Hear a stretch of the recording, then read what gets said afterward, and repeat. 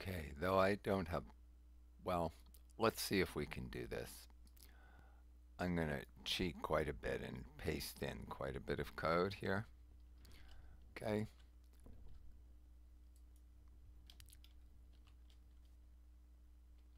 So what I've done right here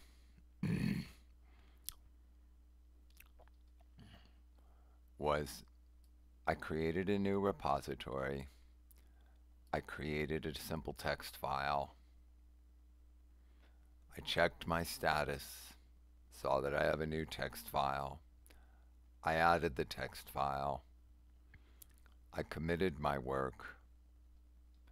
And then I logged out my work so I can see what it is. And then finally I tagged it in first tag. Okay? Now, let's go ahead and do a similar thing and add yet a bit more here. So what have I done here?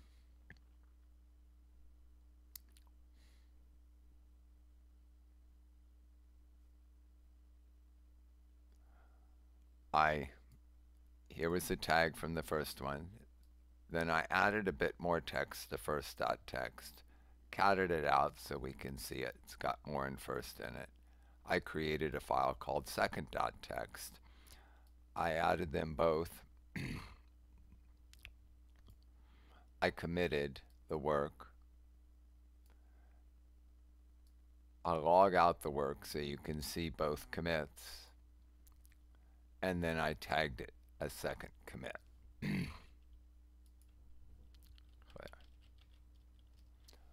Okay. Then let's go ahead just for the heck of it. And let's do the same thing one more time.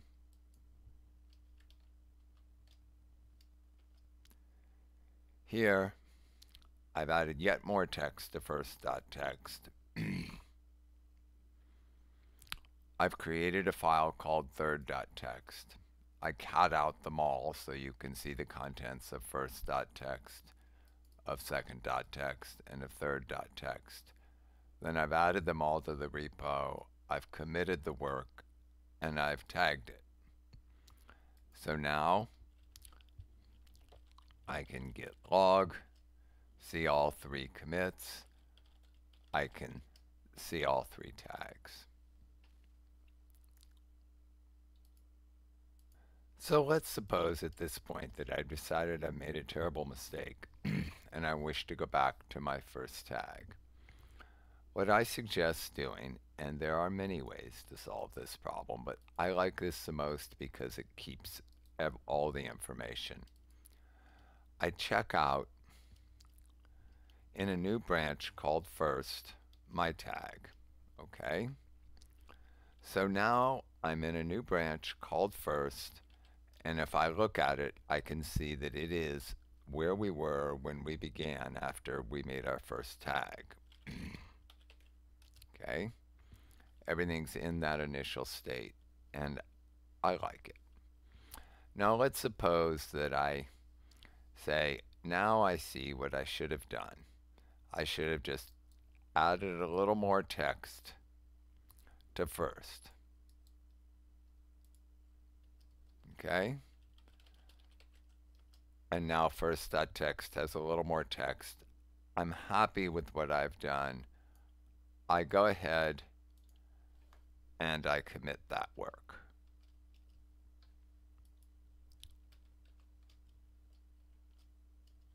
And then I switch to master. Okay. So I added everything, I committed the work, and I switched to master. So now I'm in master, right? and it's got all the stuff we had. But what I wish I were was what I created here, where I have my new happy first dot text. So we'll go back to master. I'm not happy with any of this. So I'm going to remove it. I just got, I just deleted everything. I say, I don't like it. and then I'll go ahead and commit that.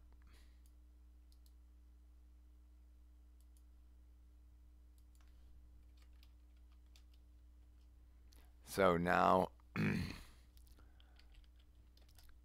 I got nothing in there right now. I've deleted all my past work. And then what I'll do is I'll merge in my work from first.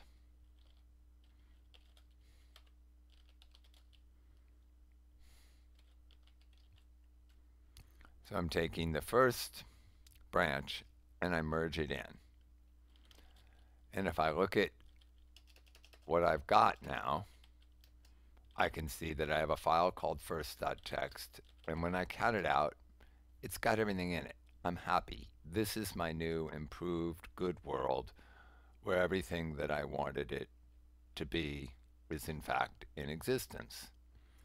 So I at this stage want to commit my work. And now, as far as I'm concerned, all my life is happy. I went back to the place where I was at the first tag. I've forgotten all the other stuff, and I've improved my first one, and I've merged it back into master so that everything is happy. Now, there's one final step here, which is why I like doing things this way. Whether there's other advantages or other ways to do it might be fine, but why I like this is let's log for a second what we've got here. And you'll notice that we still have our third commit and our second commit. We didn't lose any information. So if we wanted to get if we suddenly decide, hey, you know, there was something in my third commit that I kind of wished I hadn't have lost, and even though I'm happy with my current thing, you know, there was stuff I was doing there that was actually I don't want to I, I don't want to lose that. So now I can git checkout third and based it on my third commit. And now if I go look at my third commit, I've got everything from my third commit the way it was when I did my third commit, right? so nothing has been lost, right? That's the thing I like about this system. And then I could, in fact, go look at my second commit. And I can git checkout b second and build a branch based on my second commit. And now here I am in there. And if you look at it, you'll notice that here's the way everything was at the time I did my second commit.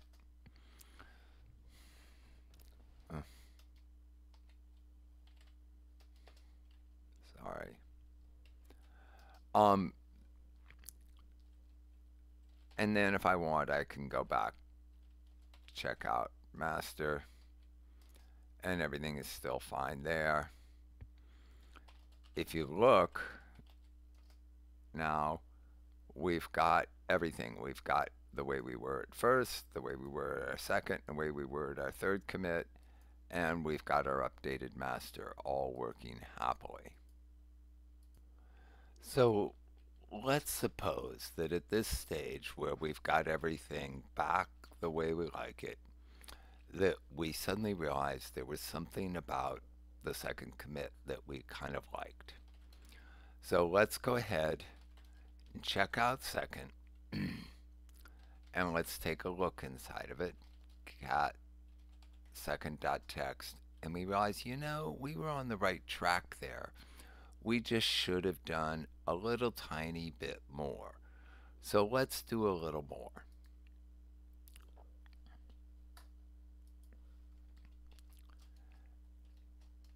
and we'll go ahead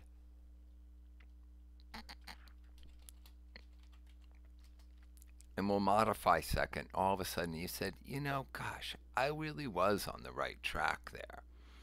So let's go ahead and copy that and then commit it. Okay. Let's go ahead and commit our work now. And then let's go ahead and check out master and git merge second into it. And now you can see first is still in that pristine state that we got it to after we did our work, but we've now also got second in there with its improved working system, at which time we could do a git add, git commit,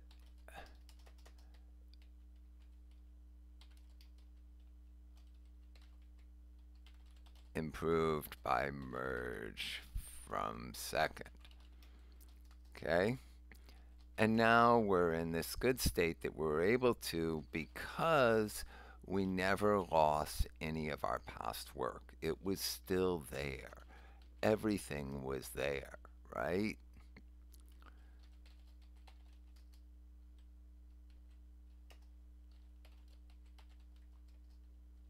All of our previous commits, the first commit, the second commit, the third commit, the new first commit, the deleted commit, the all good commit, the second second commit, and then finally our improved status. We just don't lose any work along the way. It's all there. We can go back to any of it at any time if if we want to even have the deleted um, commit. We can have it, right? We can get back to anything we want to get to.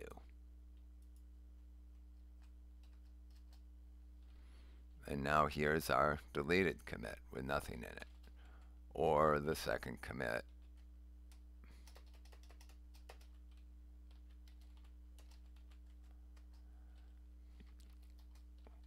Or the third commit all the different stuff that we wanted to do. And we've got stuff in our updated status. All right, hopefully you understand now what you can do and can't do with commits and branches, simple commands that can help you do get where you want to go. It's not the only way to accomplish these things, but it's one way to accomplish them without ever losing any work or a chance of losing any work.